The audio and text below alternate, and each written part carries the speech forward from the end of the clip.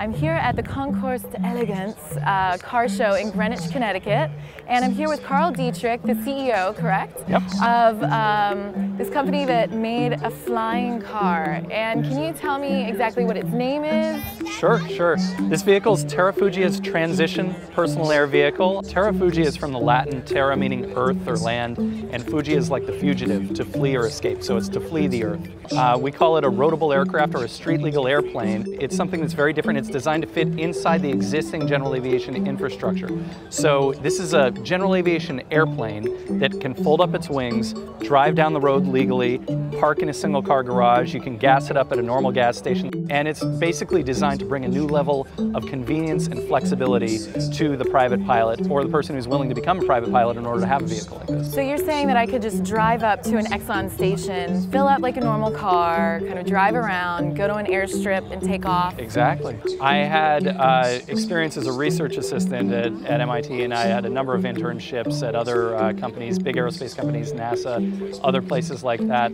And I found through that that being a little cog in a big machine was not something that I was really attracted to. And uh, in 2004, when the FAA created this new category of aircraft called light sport aircraft, it opened up a window of opportunity to do something entrepreneurial in aviation, which really combined a couple of my passions. Has the FAA been really um, understanding and have they worked with you?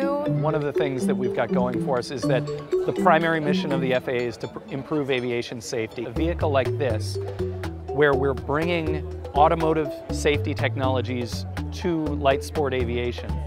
That has the potential to significantly reduce the number of fatalities. This is the wing of the vehicle, and you'll notice a few things about it. First of all, uh, we've got a wingtip light that tells you kind of where the airplane is so you can see it far off in the distance. These are actually bumper strips like you would have on the door of your car. Right. So that when the wings are folded up against the side of the aircraft, if you're parked in a parking lot somewhere and somebody slams open their car door, into the side of your wing, it's not going to do any damage. This is one of our rudders here. This controls the yaw of the aircraft. This is our elevator, controls the pitch of the aircraft, nose up, nose down. Um, moving towards the back here, we've got the propeller. On the ground, this is disengaged. So this is not connected to the engine. You're not being pushed by the propeller on the ground. Right. It's front wheel drive on the ground. This is the control stick. It telescopes up into position. Got my right hand on the throttle here on the center console, left hand on the control stick. And you can see when I move this stick, I'm moving the control surfaces. It's very, very familiar to any driver. You just move your foot right here. You put your right foot, gas, brake, just like a normal automatic transmission car. No clutch. Uh, steering wheel, of course, right here. So just gas, brake, and steering wheel for driving. Most airplanes actually have to crawl up on top of the wing or duck down below the wing in order to get in or out.